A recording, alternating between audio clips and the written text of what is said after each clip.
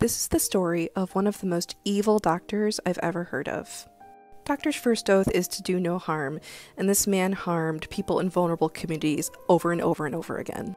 Before Dr. Death, which is based off of a true story on NBC, which you should check out, there is Dr. John Ronald Brown, also known as Butcher Brown or the Butcher of Tijuana. This is John Ronald Brown.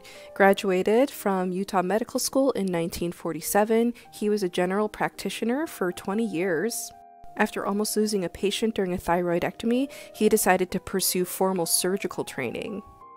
By 1973, he was doing gender reassignment surgeries and was a self appointed specialist. And he was actually hailed as a hero in the trans community Bear in mind that this is the 70s, and it's kind of the Wild West for LGBTQ issues, especially gender reassignment surgery. And most of his patients were trans people who couldn't afford the fees of reputable surgeons. And in the community, they actually called his house the House of Dreams. The sad reality was that it was more of a house of nightmares. He actually had never been qualified as a surgeon, and the reason his surgeries were so inexpensive is because he was literally doing backyard surgeries under like deplorable conditions. Like he turned his garage into an operating theater, he's done surgeries in hotel rooms and even trains. What's worse is that he maimed people. One victim was left wearing diapers because of her botched surgery.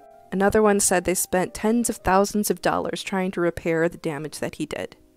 The medical community caught wind of this, and his medical license was revoked in 1977 due to gross negligence. Desperate to get his license back, he actually wrote a letter appealing to the board saying that he had issues with authority. The letter had no effect. So he actually moved to Mexico, where he could practice medicine no questions asked. And he actually started performing male genitalia enhancement surgeries. Weirdly enough, he was actually featured on an episode of Inside Edition about this and this was the title. Yeah, and I read that during the episode, he was performing a surgery, and the man actually woke up in the middle of the surgery screaming, but he played it off like it was normal. That actually led him to being sentenced to three years in prison, where he served 18 months. His downfall was in 1998 when he performed a leg amputation on somebody suffering from body integrity identity disorder. He did not perform the surgery correctly, and the wound became gangrenous, and he passed away. The victim was found in his hotel room by his friend who backed out of the procedure at the last minute. He was convicted and sent to prison. This man hurt already disenfranchised people. And that's one of the most evil doctors I've ever heard of.